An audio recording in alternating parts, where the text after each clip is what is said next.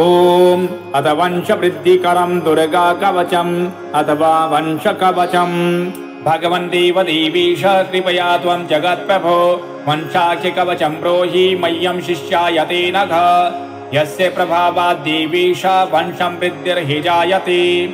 सूर्य उवाच शृणु पुत्र प्रवक्ष्यामि वंशाख्यम् कवचम् शुभम् सन्तानवृद्धिर्यत्पठनात् गर्भरक्षा सदा नृणाम् वन्ध्यापि लपते पुत्रम् काकवन्ध्या सुतैर्युता मृतवत्सा सुपुत्रश्चात् स्रवद्गर्भस्थिरप्रजा अपुष्पा पुष्पिणी यस्य धारणाश्च सुखप्रसूः।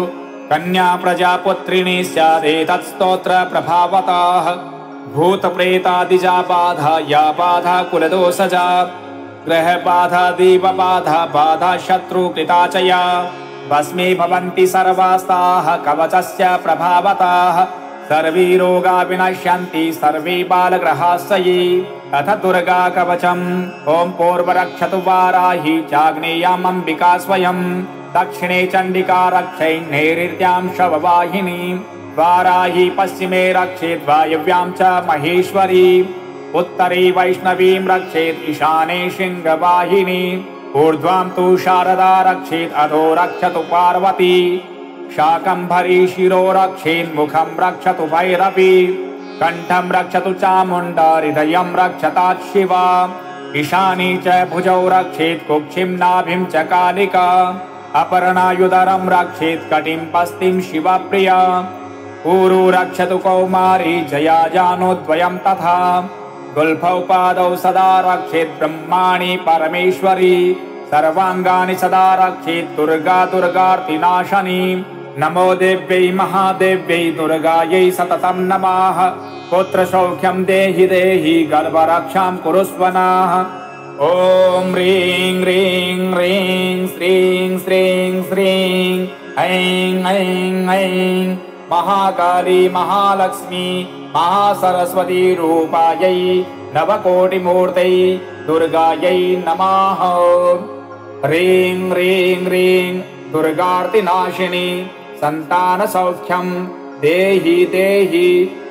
मन्ध्यत्वं मृतवत्सत्वं च हर हर गर्भरक्षां कुरु कुरु। सकलां बाधां कुलजां बाह्यजां कृतामकृतां च नाशय नाशय सर्वगात्राणि रक्ष रक्ष। गर्भं पोषय पोषय सर्वोपद्रवं शोषय शोषय। स्वाहा। फलश्रुतिः अनेन कवचीनाङ्गं सप्तवाराभिमन्त्रितं। ऋतुस्नातजलं पीत्वा भवेत् गर्भवती ध्रुवम्। गर्भपातभये पीत्वा दृढगर्भा प्रजायते।